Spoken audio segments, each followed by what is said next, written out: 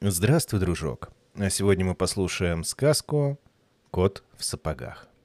Один мельник, умирая, оставил трем своим сыновьям мельницу, осла да кота. Братья наследство сами поделили, в суд не пошли, жадные судьи последние отберут.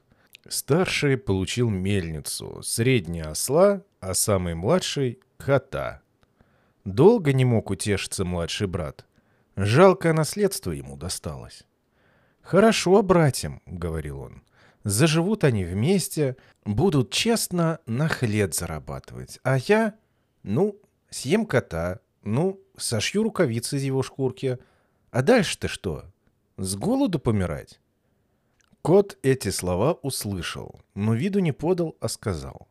«Хватит горевать. Дайте мне мешок, да закажите пару сапог, чтобы легче было ходить по лесам и полям, и вы увидите, что не так уж вас обидели, как вам сейчас кажется». Хозяин сделал все, как велел кот.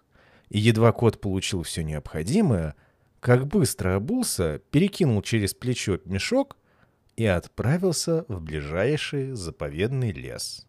Из мешка, в котором находились отруби и заячья капуста, кот устроил хитрую западню, а сам, растянувшись на траве и притворившись мертвым, стал поджидать добычу. Долго ждать ему не пришлось. Какой-то глупый молодой кролик сразу же прыгнул в мешок. Кот, недолго думая, затянул мешок и отправился в королевский дворец. Когда кота ввели в королевские покои, он отвесил королю почтительный поклон и сказал, «Ваше Величество, вот кролик из лесов маркиза де Карабаса». Такое имя выдумал он для своего хозяина. «Мой господин велел мне преподнести вам этот скромный подарок». «Поблагодари своего господина», — ответил король, — «и скажи ему, что он доставил мне большое удовольствие». Через несколько дней кот отправился на поле и снова расставил свою ловушку. На этот раз ему попались две жирные куропатки. Он проворно затянул шнурки на мешке и понес их к королю.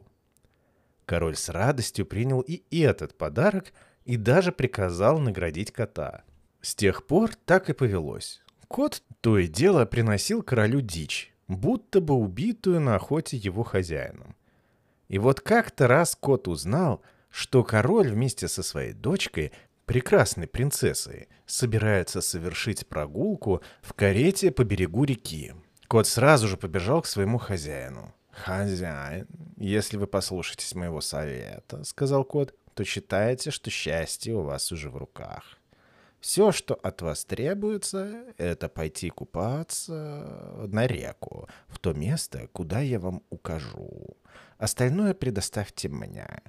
Хозяин послушно исполнил все, что посоветовал кот. Хоть он совсем и не понимал, для чего это все нужно. Как раз когда он купался, королевская карета выехала на берег реки.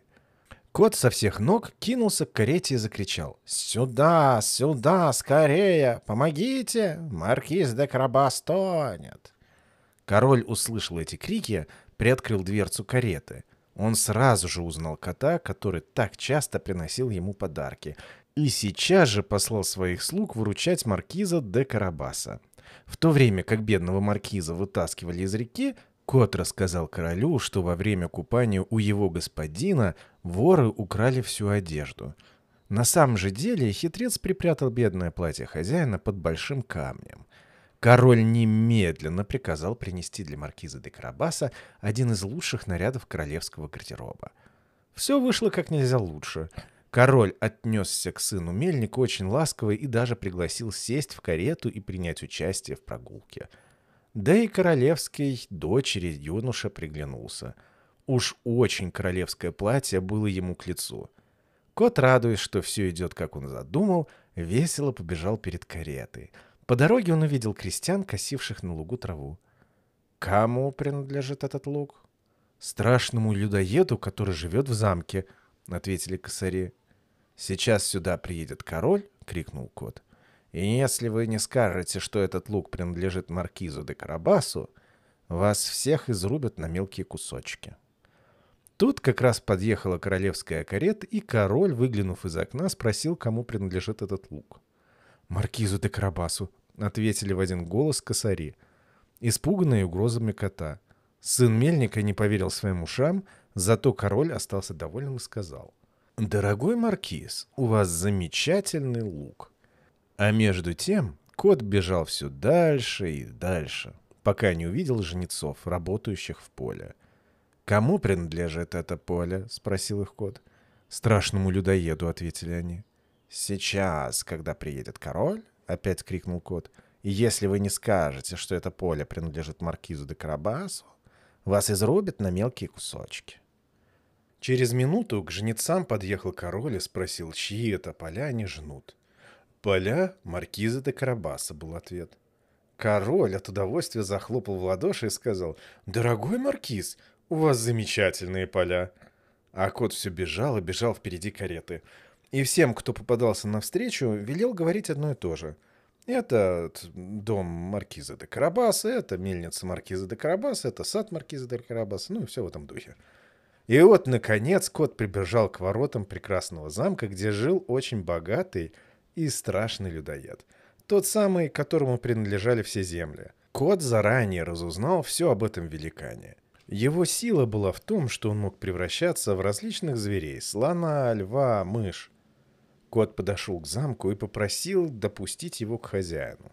Людоед принял кота со всей учтивостью, на какую был только способен, ведь он никогда не видел, чтобы кот разгуливал в сапогах, да и еще говорил человеческим голосом. «А мне говорили, — промурлыкал кот, — что вы умеете превращаться в любого зверя. Ну, скажем, в льва или слона». «Могу!» — засмеялся людоед. «И чтобы доказать тебе это, сейчас же обернусь львом. Смотри же!» Кот так испугался, увидев перед собой льва, что во мгновение ока взобрался на крышу прямо по водосточной трубе. Это было не только трудно, но даже и опасно, потому что в сапогах не так-то просто ходить по гладкой черепице. Лишь когда великан вновь принял свое прежнее обличие, кот спустился с крыши и признался людоеду, что едва не умер от страха. «А еще меня уверяли», — сказал кот, — «но этому-то я уж никак не поверю» что будто вы можете превратиться даже в самых маленьких животных. Например, обернуться крысой или мышкой. Должен признаться, что считаю это совершенно невозможным. «Ах, вот оно как! Считаешь невозможным?» — заревел великан. «Так смотри же!» В то же мгновение великан превратился в очень маленькую мышку. Мышка проворно побежала по полу, и тут кот, на то ведь он и кот, кинулся на мышку, поймал ее и съел. Так и не стало страшного людоеда. Тем временем король проезжал мимо прекрасного замка и пожелал посетить его. Кот услышал, как на подъездном мосту стучат колеса кареты, и выбежал навстречу королю. «Милости просим пожаловать в замок маркиза де Карабаса, ваше величество», — сказал кот. «Неужели этот замок тоже ваш, господин маркиз?» — воскликнул король. «Трудно представить себе что-нибудь более красивое. Это настоящий дворец, а внутри он, наверное, еще лучше. И если вы не возражаете, мы сейчас же пойдем осмотрим его». Король пошел впереди — а маркиз подал руку прекрасной принцессе. Все втроем они вошли в великолепную залу, где был уже приготовлен отменный ужин. В тот день людоед ждал в гости приятелей, но они не посмели явиться, узнав, что в замке король. Король был так очарован достоинствами и богатствами маркиза де Карабаса, что, осушив несколько кубков, сказал, «Вот что, господин маркиз, только от вас зависит, женитесь вы на моей дочери или нет. Маркиз обрадовался этим словам еще больше, чем неожиданному богатству, поблагодарил короля за великую честь и, конечно же, согласился жениться на прекраснейшей в мире принцессе. Свадьбу отпраздновали в тот же день. После этого Кот в сапогах сделался очень важным господином и ловят мышей только для забавы. Спасибо, что дослушали до конца. До новых встреч.